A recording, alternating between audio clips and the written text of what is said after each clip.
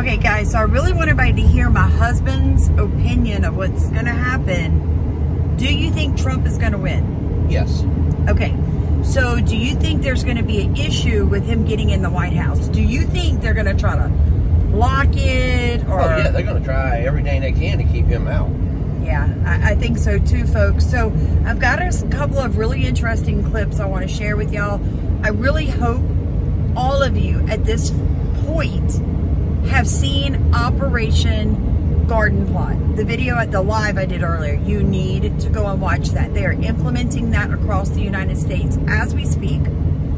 But what I want to show you is another man, and he's talking about, yeah, he believes that he calls him Mr. T. Mr. T is going to get into office, and what's going to happen, there's different game plans that the left can use to cause chaos, okay? So most of us know that it's going to be too big to rig, right? This time around it is.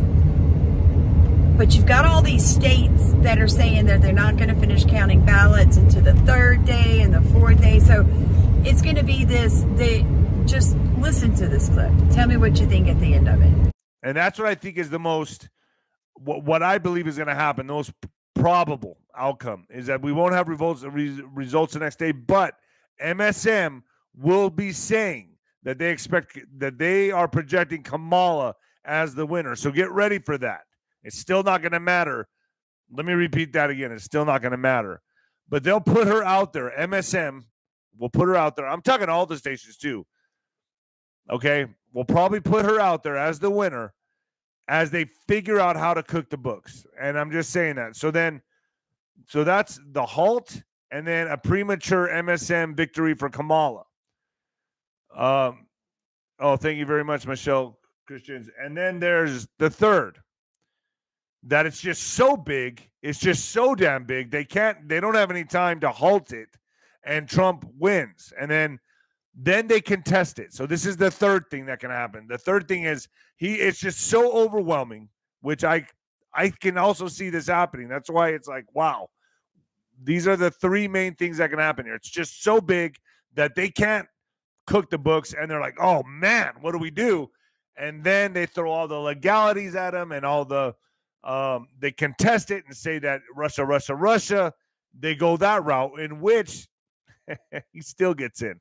I think this is also very supernatural. I think that what's happening is very uh, God's had it. God has His hands all over this. Um, look no further than the uh, assassination attempts, but also consciously, where we're at, the new paradigm, we're ready for the change. I think human consciousness is ready for this monumental shift, this final click over into the new paradigm, and I think that's really what's going to be controlling this. Is that we're done with it. The whole world's done with the old system. And I think that alone, that by itself, is going to be the deal breaker for them. And it's just going to just. It's just going to set us over into the new paradigm, and that's how I okay, see it. So happening. tell everybody what you think happens if if Queen K got in. All right, well, let's get to the get go. She already wants to defund the police. She wanted to. She's been wanting to do that. She wants to defund the military. You defund the police, the military. What happens? Let's riot. That's exactly right. And to riot, there's not going to be nobody there to protect y'all. Because I don't need nobody to protect me. I love how but, you said that. And okay, so for the people who got butthurt over us saying that we were having our dogs canine trained, how dare they? Because you would think that as critical thinking Americans, you would understand at this stage in the game, you had better be able to defend yourself. And if you ain't got a pow pow, you better have a doggy dog. You better have a rough rough. You better have Don't something. have a pow pow, better have a rough rough. I'm dead serious. And that's what's wrong with Americans. They're so dependent on the government. You guys saw what happened in North Carolina. Guys, it's it is it is you or an adult, take some responsibility for shoring up your safety. And I can't tell each one of you in your unique situation what it is you need to do to protect yourself. But if you would pray about it and ask the Holy Spirit, to show you what to do to protect you and yours and everything that he has given you to steward because we don't really own anything. None of us are going to live very long in this life, right? You get an average 100 years, do what it with what you will, and then you're going to die. That is the life cycle. So nobody owns anything. Everybody stewards, and then you leave that to somebody else.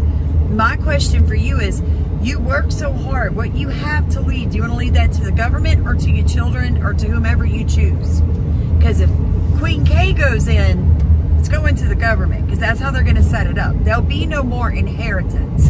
It'll be a socialistic system and only the top one percenters will have anything to claim as their own. That's just reality, folks. I love y'all with all my heart, but it's time to take the gloves off. A lot of Americans are still fence sitting. We need you to get off the fence and pick a side. Because by not voting, you're picking a side. And then by voting one of these third party candidates, I mean, that is a waste of a vote. I'm sorry. I know that you think that it's not, you're getting your voice heard, but come on. Let's just, keep everything 100. I mean, I'll respect you by being completely honest with me.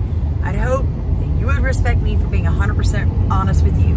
Voting third party is a wasted vote at this time. Maybe one day that will change. 2024 is not it please, for the love of God, stop wasting your votes. Put it where it needs to go. Okay? And that is Trump, folks, because everything that we love about our country is hanging in the balance. And I'm still, I'm shocked at the amount of people that want to say that Trump is the Antichrist or that he's going to usher in the one world system. Like, no. It's Kamala Harris that has had dealings with who in the World Economic Forum? not Trump.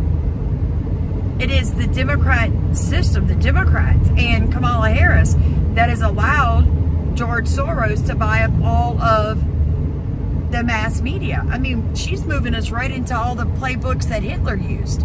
So, so don't. Stop listening to people who don't know what they're talking about.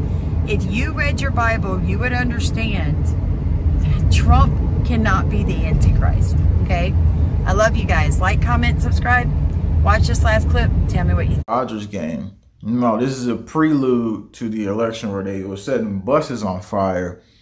Not only that, we're seeing these military movements that are not being talked about as well. We'll get back to all this. This is what LA looked like just